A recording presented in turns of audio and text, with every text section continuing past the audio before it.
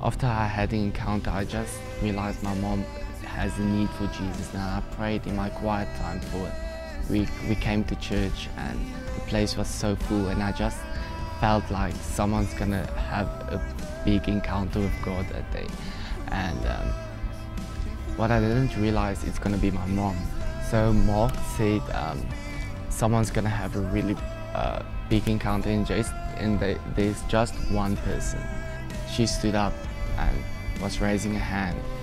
So I realized even prayer in my quiet time had shaped my mom like a new person again.